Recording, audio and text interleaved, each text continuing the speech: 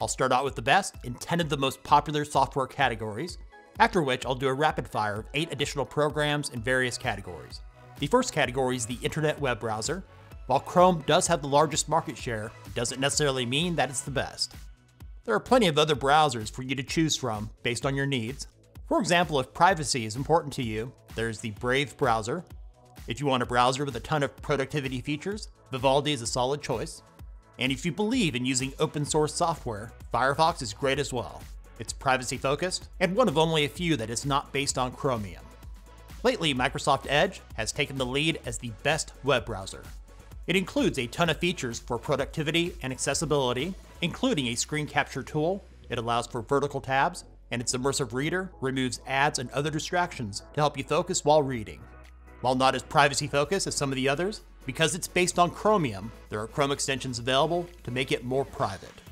The game changer that's given Edge the lead is the AI powered Copilot for Bing that is built into Edge. Through a partnership with OpenAI, it lets you create an image based on the text you enter. Chat based search helps you to refine your search. You get answers that are summarized with citations. And it can help you with writing an email, essay, poem, or anything else you can think of unique to you. Microsoft Edge is available for Windows, Mac OS, and select Linux distros. They also have mobile apps for iOS and Android. To play the audio or video files on your computer, the absolute best media player is VLC. It's open source, there are no ads or spyware, and unlike many free media players, it does not track what you watch or listen to and send that information back to the developer. It'll play just about any audio or video file that you throw at it without the need to install codec packs. It's also lightweight on system resources, making your media files load quickly. VLC Media Player is available for Windows, Mac OS, and Linux. It also has apps for both iOS and Android. If you can't afford to pay for a VPN, you should consider getting the open source Proton VPN free. A VPN is essential these days, especially if you're on public Wi Fi, to protect your data from being seen by others. For example, at an airport, hotel, and shopping mall, to name a few. Proton has a strict no logs policy, meaning they'll never store the information about the sites you visit. There are no ads, and because they're based in Switzerland, they won't share your data with other countries. On the Proton VPN free plan, there are no data caps, but you are restricted to 100 servers in three countries. For most of you, that won't be an issue. If you need additional features, plans start at $4.99 per month. Proton VPN is available for Windows, Mac OS, and Linux, you can also get it for iOS, Android, and Chromebook. If you're looking for a free Office Suite alternative to what is offered by Microsoft, the open source LibreOffice is all you need. It includes alternatives that are compatible with Microsoft Word, Excel, PowerPoint, and Publisher, all of which are updated on a regular basis by a full team of developers. To improve your experience, you can also add templates and extensions. LibreOffice is available for Windows, macOS, and Linux. Real quickly, before we move on to the next category, if you're looking for a free email client alternative to Microsoft Outlook, we recommend using Thunderbird. It's from the makers of the Firefox browser and available for all three of the major platforms. Instead of paying for an expensive program like Photoshop, I recommend you check out the free and open source GIMP. As some of you know, I'm a big fan of this program and have done a few tutorials over the years. You can use it to easily touch up a photo or create a new image. Just like Photoshop, it includes advanced filters and effects. You can do transformations, adjust the colors, and have the ability to work with layers. GIMP is available for Windows, macOS, and Linux. If you ever have the need to edit high quality videos, nothing beats DaVinci Resolve. It includes a ton of professional features not often found in many paid programs. You can edit using multiple tracks, there's various trimming tools, along with cool transitions and effects for your projects. Also built in is Fusion that lets you create film quality visual effects and motion graphics. It's available for Windows, Linux, and Mac OS. It's available in two flavors. DaVinci Resolve is completely free with more features than most people would ever need. And DaVinci Resolve Studio is geared towards advanced professionals for a cost of around $300. For live streaming and recording of your screen, OBS Studio is what I use. It's great for recording what is currently on your screen or for streaming live content to Twitch, Facebook, and YouTube, to name a few. It includes a built-in audio mixer, you can easily switch between an unlimited number of scenes, and unlike most of its free competitors, there are no time limits or watermarks. OBS Studio is available for Windows, Mac OS, and Linux. ShareX is a fantastic free and open source screenshot tool for Windows only. It's more advanced than the built-in Snip and Sketch, and with more screen capture methods, it blows away competitors like GreenShot and many others.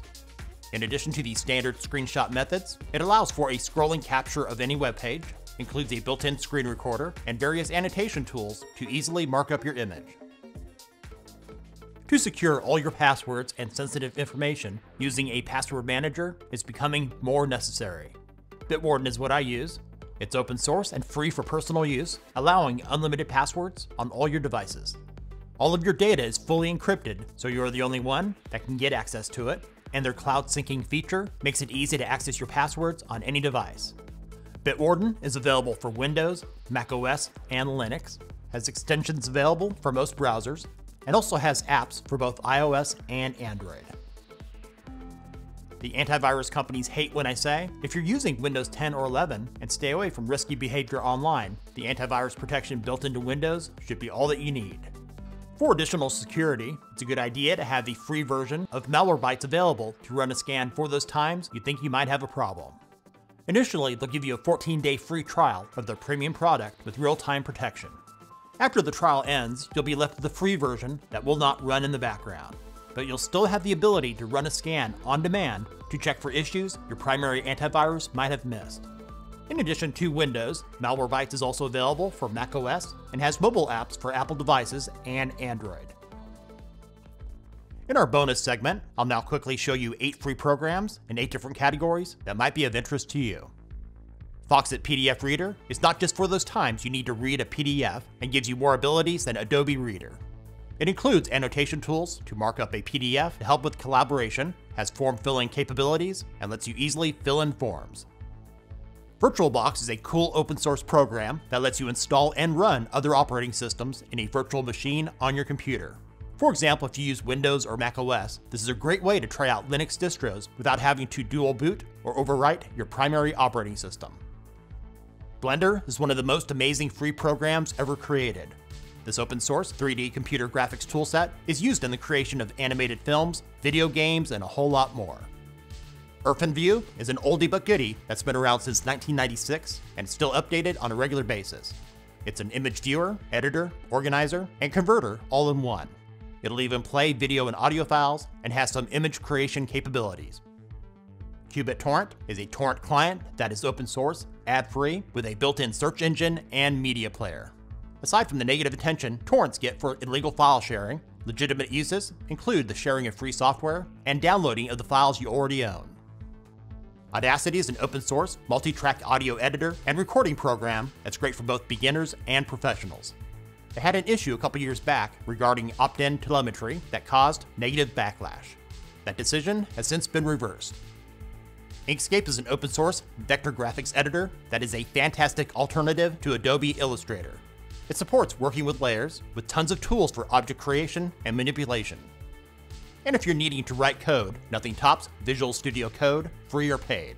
And for Microsoft, it's surprising that it's still free. It's great as a source code editor, debugger, and compiler all in one. Thanks for watching. Links are in the description. If this video is useful for you, give it a thumbs up. What free programs do you use that you think are great? Let me know in the comments. And if you're new to our channel, subscribe and click the bell to not miss out on our latest top 10s and other tech related stuff here on Brett in Tech.